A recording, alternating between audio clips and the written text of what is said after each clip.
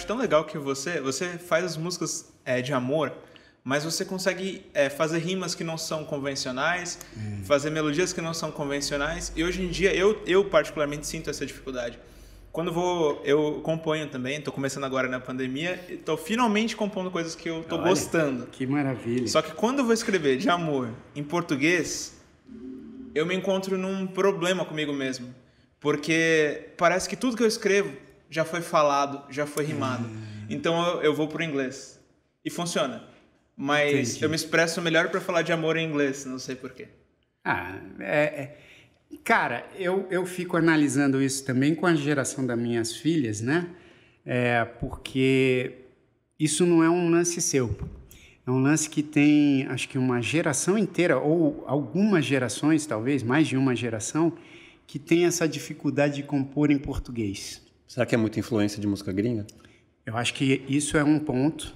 Segundo que o inglês, eu acho que ele é mais... É, é, como, como eu posso explicar? Eu acho que, que ele, dentro dessa, desse universo aí de falar, por exemplo, de amor, eu acho que você tem... É, o inglês, ele, é, ele, a meu ver, ele é muito mais simples, né? No, no, na forma gramatical, enfim. Na, é, não é à toa que é uma língua universal. Exato, é. porque você, você acaba conseguindo construir frases é, que muitas vezes elas funcionam. É, tipo, vou dar um exemplo. O português, cara, o português ele é mais difícil de você encaixar as palavras na prosódia. Porque muitas vezes você acaba botando a sílaba tônica em outro, em outro lugar. É. Então você, em vez de falar. É, é, tipo, tem uma música clássica que faz isso, que é Eu não quero tocar em você, ó baby, vira Eu não quero tocar em você, ó baby, né? Uhum.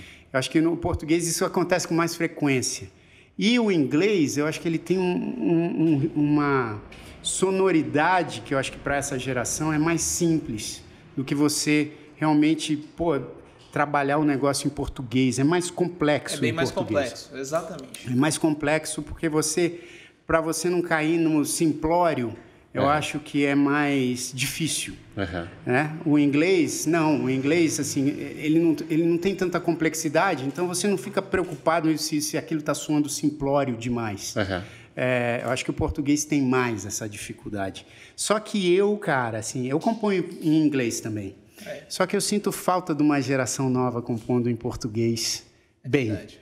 Porque acontece isso. Como hoje em dia, geralmente quem tem acesso a uma educação um pouco melhor já tem acesso também à língua inglesa e aí acaba ouvindo as músicas, vê as séries, vê os canais de YouTube, então tem muito contato com a língua inglesa. O que acontece é que na dificuldade, por conta da complexidade, acaba abandonando. Ah, vou, vou compor em, em, inglês que é mais fácil e soa melhor. Sim. Mas na verdade eu falaria para você assim, insista em fazer a sua linguagem com o português, porque uma hora você vai encontrar, uma hora você vai encontrar. E o português é uma língua incrível, uma língua linda, é, que, que eu acho que merece essa atenção, inclusive das novas gerações, porque é uma língua belíssima, né? Não é tão falada no mundo quanto o inglês e o espanhol, mas eu sinto que é uma língua incrível de você trabalhar com ela musicalmente tem complexidades maiores, mas eu acho que vale a pena apostar. Sim. Você morando né, fora agora, quanto tempo você mora lá? Eu estou morando já desde 2017, vai fazer quatro anos. Quatro anos nos Estados Unidos. agora nos no, Estados Unidos, é. Em estados diferentes, né? Você... É, isso. Eu, eu, na verdade, assim, eu morei mais tempo lá, né? Falei uhum. para vocês que morei cinco anos em Boston, na época da faculdade, aí agora voltei com a minha família Fiquei três anos em Nova York e agora aí em outubro do ano passado mudamos para a Flórida por conta da pandemia. Como você consegue ver é, a reação das pessoas com a música brasileira de lá? Cara, é assim, claro que é um mercado mais nichado, né? Não é algo assim, você fazer. A Anitta bem sabe disso e acho que ela tem feito um trabalho internacional bastante sólido. Uhum é, porque você cantar em português, você acaba ficando é, limitado. Limitado, sim, né? Não é algo que o, o público americano geral vai acompanhar. Então você tem que cantar em inglês uhum. para poder conquistar esse público. Mas a música brasileira sempre teve uma importância muito grande, né? Uhum. Acho que desde a da geração da bossa nova, né, final da década de 50, que a música brasileira começou a ter um destaque internacional muito, muito, muito grande. E é assim até hoje. Então, é, as pessoas sabem que o músico brasileiro geralmente é, traz coisas interessantes, traz, traz coisas bem feitas e tudo. Então eu vejo assim que tem caminhos, né, para trabalhar lá. Eu antes da pandemia estava fazendo shows regulares lá em Nova York. Aí obviamente chegou a pandemia, fechou tudo.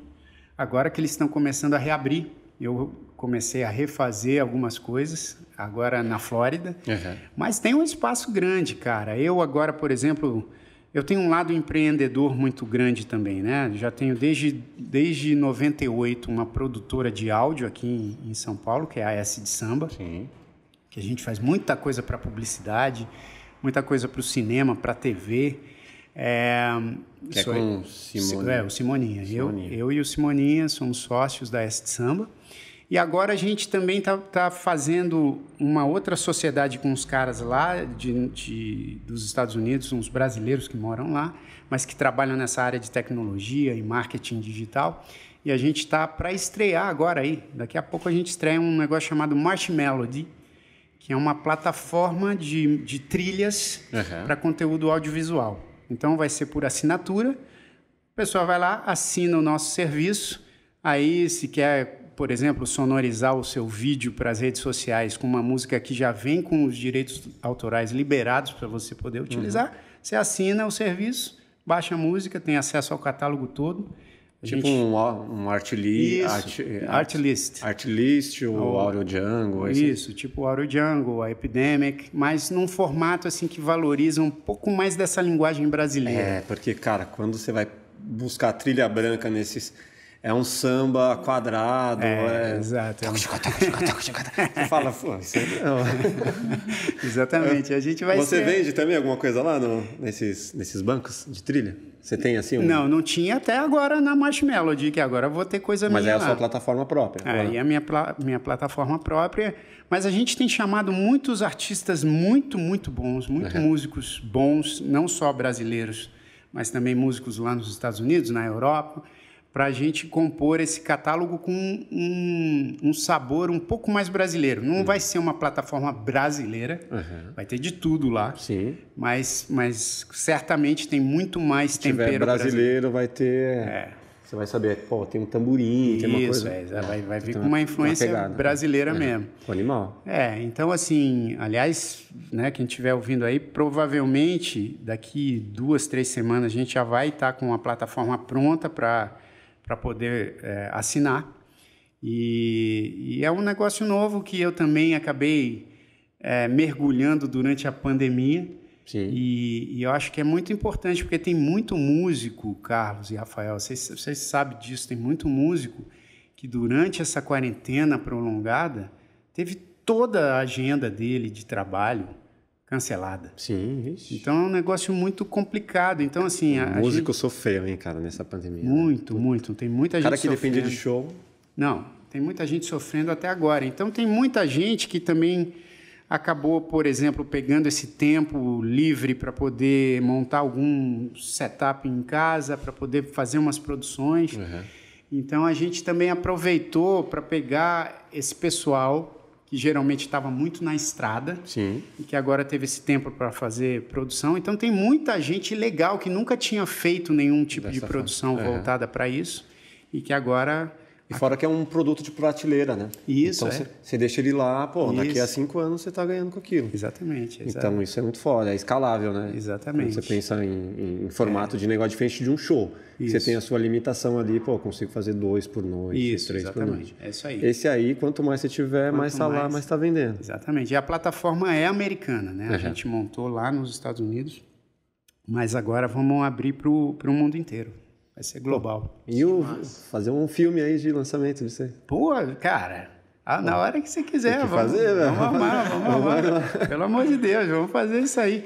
Na verdade, cara, a gente tem pretensões até de funcionando essa, é, essa coisa com a música, né? Uhum. principalmente com essa coisa de música de stock, né? que eles chamam de stock music, é, com esse sabor mais brasileiro, por que não, não fazer um stock video ou stock photo Sim. Né? É, com, com sabores brasileiros também. Né? Porque no vídeo é igual também. Sim. Você vai procurar nessas livrarias de vídeo, você encontra vídeos incríveis, imagens incríveis, mas quando você vai procurar especificamente por coisas mais brasileiras, não tem tanto. Não, é, e, e, é muito difícil você falar assim, ah, vamos fazer um filme e tem que misturar banco de imagens. Já começa, né?